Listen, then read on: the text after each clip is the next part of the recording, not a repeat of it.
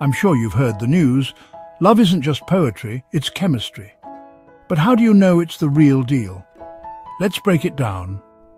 Number one, you think about them a lot. Brain scans show true love lights up your thinking centers.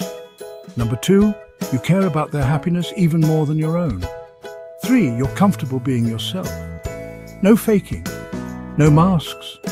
Four, you can't help but plan a future together. Number five, you feel calm and secure, not just butterflies. Six, you support each other's growth. Love cheers you on. And seven, you want to share everything, big moments, small smiles, and even the weird stuff. So if this sounds familiar, science says it's probably more than just lust.